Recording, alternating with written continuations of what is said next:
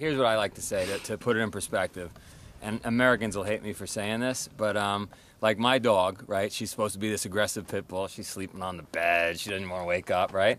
She is the American.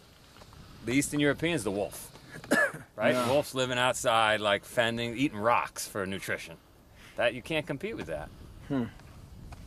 You know what, um, like about your kids, just because I've been around wrestlers and like your kung fu instructor and then the wrestling guy, they're like, come on, you're not working hard enough, do it. I think that what I see in wrestlers is they burn out.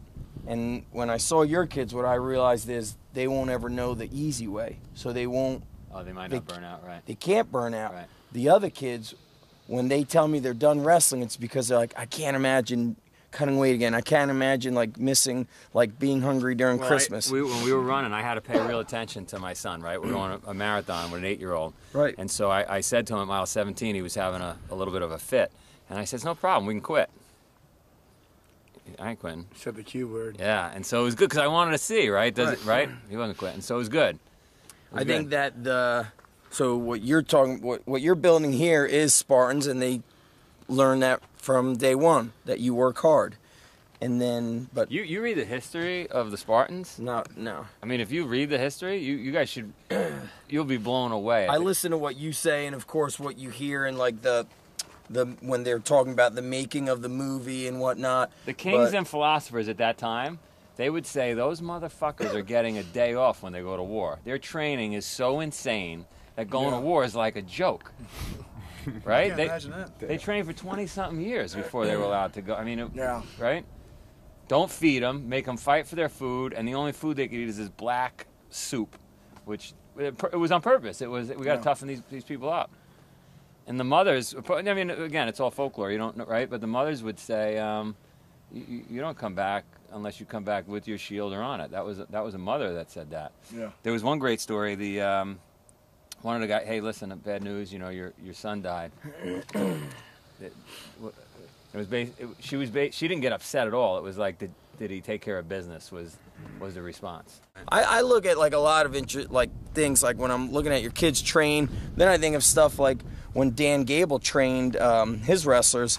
He started to train them. He had the stairs, took them to the stadium stairs, and he was like, "Who trains the hardest?" And he looked at those uh, Shaolin warrior monks, and they would jump up the stairs. They would hop up the stairs. They would buddy carry up the stairs. They would hand walk up the stairs.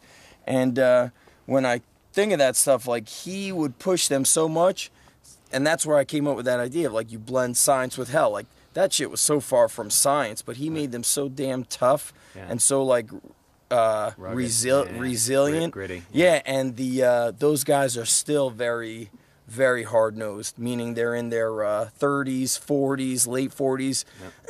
they're still like chasing. They're they're always like pushing themselves Yeah. to be tough. Yeah.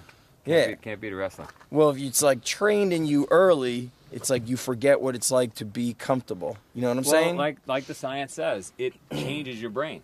yeah. right? So if you're starving yourself to make weight or you're working like that, your brain is getting different wiring than the kid that's playing video games and sitting on a couch.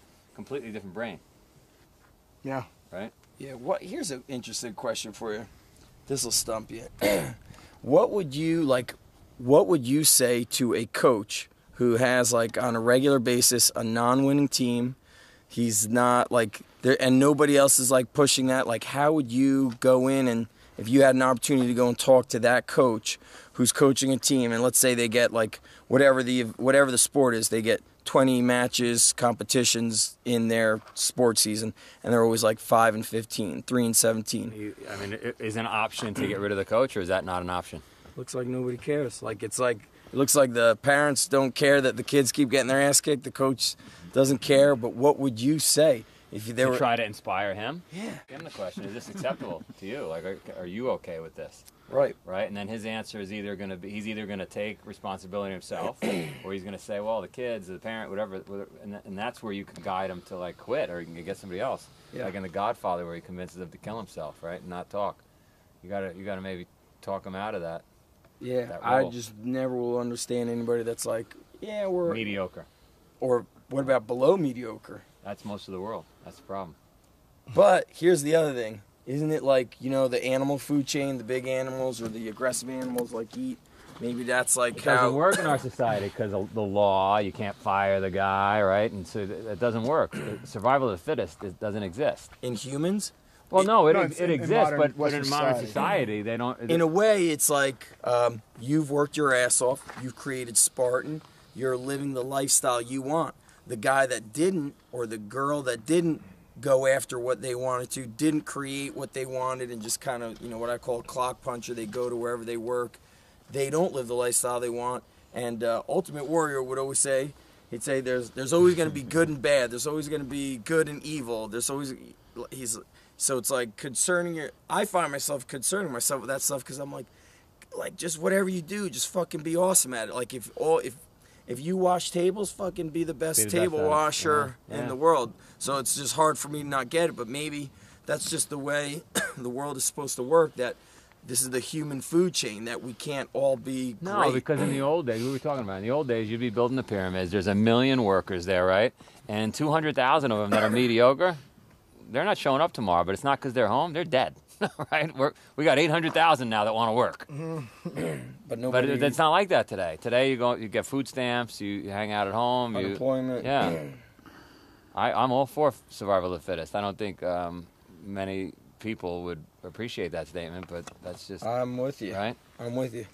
I think it just. I mean, makes that's you- why I'm here. That's why we started Spartan. That's the whole the whole thing. Is I just got tired of being around. I want to be around high functioning people. I want to be like military guys at that level. The, the, the really elite military, they're awesome to be around. Yep. It's awesome. They are awesome. Wrestlers, awesome to be around. I don't I don't want to. We're on the planet for a really short time. I'm already halfway dead. I want to be around great people. Yeah. Does that shit freak you out? It's start, I'm starting like- to thinking about it a little bit more because I'm having so much fun that it, it would suck to, to end. yeah. You know? Fucking. It would suck to have to leave here, but uh, it's I'm coming. you on- you know uh, the sheep they're followers like they like they just this this is the trend. I will go here. This is what everybody said to do. But you're trained to do that. As soon as you go to school any like idea you have that is awesome i don't know of any schools that's like oh you guys have an idea to like do this? That's awesome. Go fucking do that. They're like whoa put you know like That's put- what I'm afraid of with put- the training I'm putting my kids through because I'm uh, on the other hand, right? I'm, I'm there. It's very regimented every single day the training, and they Right. and they they're almost like clock punchers in a way. So you want to. For me, growing up, I was a madman. I was jumping out my window, escaping from the house, and, and so you want some of that spark in them too. Sure. What uh do your your kids go to a public school or Yeah. Yeah? I think we had this conversation if you were worried about like the I don't know, like public schools are different in all the states, but uh, in essence, public schools are guided by like the state, and they have to train. They have to. Uh, st- the teachers' curriculum is based on the exams, the tests that these younger kids have to take at, at, in like second grade, and uh, they're not learning like they're not learning to be flexible. In essence, they're learning for to take a We're, test. we're gonna. Our plan, knock on wood, is uh, as a No family, creativity. we're gonna move around the world. We're gonna we're gonna That's go. what these There people did. Uh, Marito and my friend, that their uh, aunt and uncle live in Stratton. Half of the year in Vermont, the other half of the year in New Zealand. And I remember they did a uh, the cruise, and they just that's what they did. They they traveled to different uh, we're places. Gonna, we're gonna do that once I get. Let, let me. I mean, seriously, think gotta about fix the staircase first, then. You guys want to go down?